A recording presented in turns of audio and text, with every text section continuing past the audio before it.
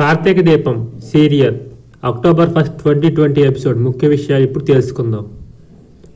కార్తీక్ దీపని శౌర్యని ఇంటి దగ్గర ఒంటరిగా వదిలేసి వచ్చినందుకు మందలిస్తారు.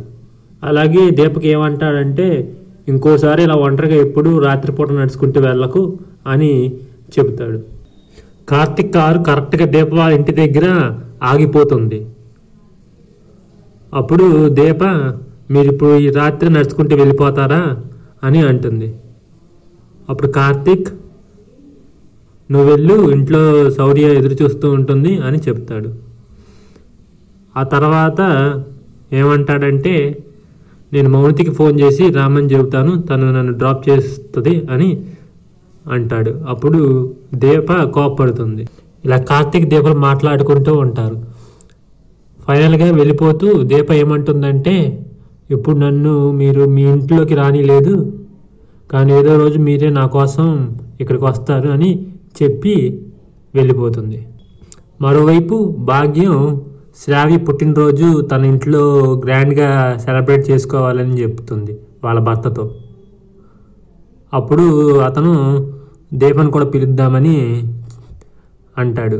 భాగ్యం దానికి అంగీకరిస్తుంది.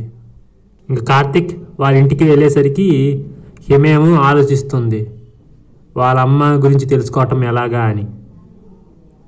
కార్తిక్ హిమ లోపలికి రూమ్ లోపలికి వెళ్దాం అనుకుంటున్నప్పుడు అక్కడికి సౌందర్య దీపతో ఫోన్ మాట్లాడుతూ కనిపిస్తుంది. అప్పుడు కార్తిక్ సౌందర్య దగ్గరికి వెళ్ళి హిమ బాధలో ఉంది తనను ఓదార్చుతామని లేదు. ఎప్పుడు దీప వాళ్ళే కావాలి. అందరూ ఉండి కూడా నా కూతుర్ని అనాథలా చేస్తున్నారని అని అంటాడు. ఇలా వీళ్ళిద్దరూ మాట్లాడుకుంటూ ఉండగా సడన్గా హిమ నుంచి ఏదో శబ్దం వినపడుతుంది. అప్పుడు సౌందర్య కార్తిక్లు హడావిడిగా రూమ్ లోపలికి వెళ్తారు. అక్కడ హిమ ఫిట్స్ వచ్చి పడిపోతూ ఉంటుంది. అప్పుడు కంగారు పడుతూ కార్తిక్ ఫోన్ చేస్తారు డాక్టర్కి.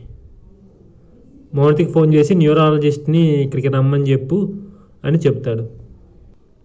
డాక్టర్ వచ్చి హిమకి చెక్ చేస్తాడు.